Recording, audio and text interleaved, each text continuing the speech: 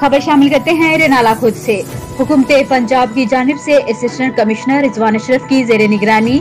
रेनाला खुर्द में vaccination camp लगाया गया, जिसमें हेल्थ डिपार्टमेंट से सुपरवाइजर राव जावेद शहाब सी सुपरवाइजर मोहम्मद अकरम वैक्सीनेटर मोहम्मद फैज ने लोगों को इंजेक्शन लगाए। असिस्टेंट कमिश्नर रिजवान अशरफ ने गुफ्तगु करते हुए कहा कि हमें चाहिए अपनी और अपने प्यारों की खातिर वैक्सीन जल्द से जल्द लगवाए। report Sajid Ali Shah 27 news Renala Khurd